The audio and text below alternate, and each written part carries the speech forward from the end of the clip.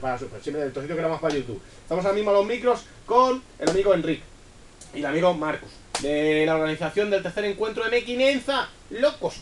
Entonces nos están contando todo el tema burocrático. De algunos dicen, ¿por qué repites eso otra vez? Porque lo estamos grabando, por eso lo estamos repitiendo. Entonces, nos está contando todo el tema burocrático que es muy importante. Lo único que nos piden para este tercer encuentro 2013 de Mequinenza es la licencia en rigor de la comunidad autónoma de Aragón. Y ya está.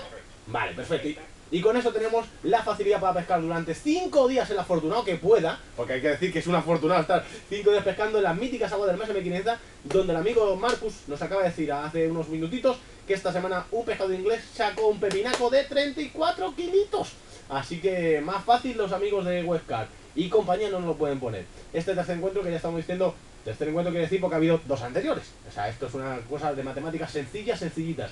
Y, y ¿Esto qué quiere decir? Pues que las cosas se están haciendo bien, esto ya va a ser un, ya es de hecho un clásico, porque si no, no habría, no habría, no habría llegado a este número 3, ¿no? Eh, Enrique, tú desde la organización, ¿cómo lo has ido viendo año tras año, cómo ha ido evolucionando? Bueno, vamos mejorando. Perfectos no seremos nunca, pero yo creo que cada año. Aquí está, amigo Enrique Benek. ¡Loco, dale carreteros! De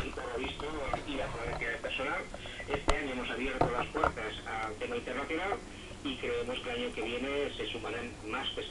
más pescadores. No, evidentemente es...